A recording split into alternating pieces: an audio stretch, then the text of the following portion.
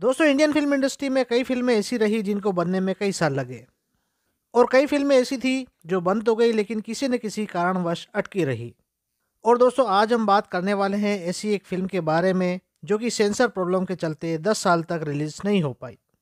नमस्कार दोस्तों, एक बार फिर से स्वागत है आपका, आपके अपने चैनल बॉलीवुड अनबॉक्सिंग दोस्तों, अगर आप हमारे चैनल का वीडियो पहली बार देख रहे हैं तो इसे सब्सक्राइब ज़रूर कर लें, क्योंकि हम फ़िल्मों से जुड़ी अंदर की मज़ेदार बातें आपके लिए लाते रहते हैं।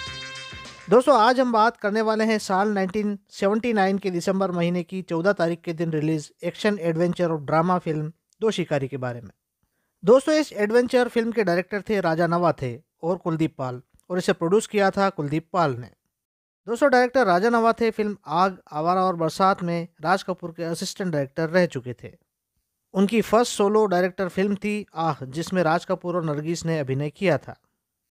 इस फ़िल्म का इसकी लॉन्चिंग पर नाम रखा गया था अनजाना सफ़र, लेकिन बाद में किसी कारणवश इस फ़िल्म का नाम बदलकर दो शिकारी रख दिया गया। इसकी वजह हम आगे बताएँगे। दोस्तों यह फ़िल्म स्टार्ट हुई थी साल 1969 में और रिलीज़ हुई साल 1979 में।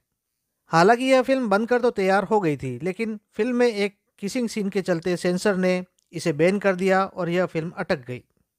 फ़िल्म जब लॉन्च की गई थी, तब इसके मुख्य और सहायक कलाकार थे विश्वजीत चटर्जी, विनोद खन्ना, रेखा, अलका जोगिंदर शैली, पद्मा खन्ना मेक मोहन केस्टो मुखर्जी, भूषण तिवारी, हेलन और फ़िल्म के बन जाने के काफ़ी टाइम बाद लिया गया अमजद खान को। दोस्तों, यह फ़िल्म आधारित थी राइडर हेगार्ड के 1985 के उपन्यास किंग सोलोमोन्स माइंस पर। इस फ़िल्म की लॉन्चिंग के समय इसके लीड हीरो थे विश्वजीत चटर्जी और सहायक भूमिका में थे विनोद खन्ना। फ़िल्म में विश्वजीत की हीरोइन थी रेखा, जो इस समय केवल पंद्रह साल की थी। दोस्तों, संभवतः यह रेखा के करियर की पहली हिंदी फ़िल्म थी जिसमें वह एक्टिंग करने जा रही थी। फ़िल्म में एक अनएक्सपेक्टेड किसिंग सीन रखा गया था, जो कि रेखा और विश्वजीत का था। इस सीन की खबर रेखा को नहीं दी गई थी और डायरेक्टर ने विश्वजीत के साथ मिलकर यह सब प्लान किया था। दोस्तों, जब सीन फिल्माया गया, तब अचानक अभिनेता विश्वजीत ने रेखा को एक लंबा सा किस कर दिया और इस सीन को बिना किसी कट के पाँच मिनट तक शूट किया गया। पंद्रह साल की रेखा असहाय होकर रो पड़ी क्योंकि विश्वजीत ने उन्हें ज़बरदस्ती चूमा था। अभिनेत्री रेखा इस सीन में उनके साथ हुए इस सबसे घबरा गई। रेखा ने इस सब का इल्ज़ाम फ़िल्म के निर्माता कुलजीत पाल पर लगा दिया।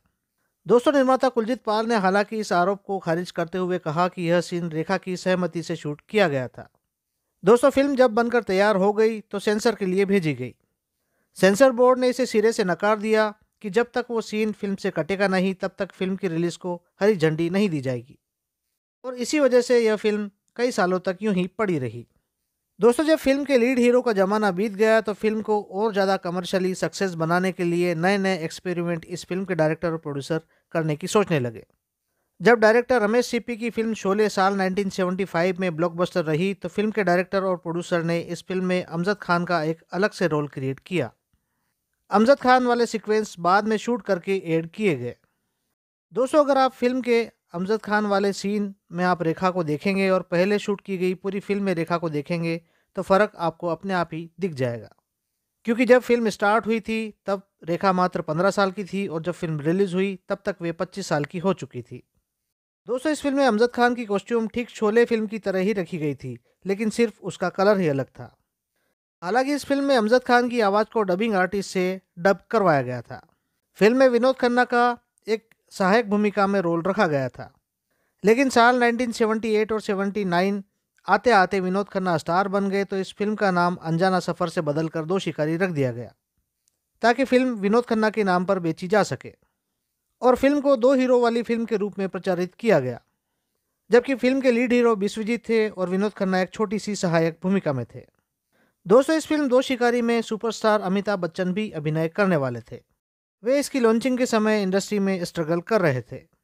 दरअसल इस फ़िल्म में उनका रोल एक अफ्रीकन निग्रो अम्बुबा का रखा गया था, जो कि कबीले का असली सरदार होने का दावा करता है और अपने दोस्त विश्वजीत की मदद से कबीले का सरदार बन जाता है।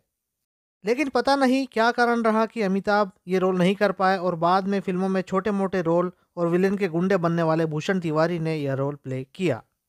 दोस्तों, भले ही अमिताभ बच्चन ने इस फ़िल्म में काम ना किया या डायरेक्टर ने उनसे काम नहीं करवाया हो लेकिन फ़िल्म में साल 1978 की अमिताभ की सुपरहिट फ़िल्म डोन का गाना खई के पान बनारस वाला ज़रूर बाद में जोड़ा गया।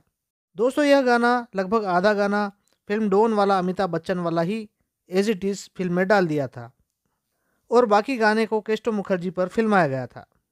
फ़िल्म में एक और चीज़ आश्चर्य करने वाली ये थी कि फ़िल्म जब खत्म होती है तो फ़िल्म परवरिश का गीत जाते हो तो जाने जाना बजाया जाता है।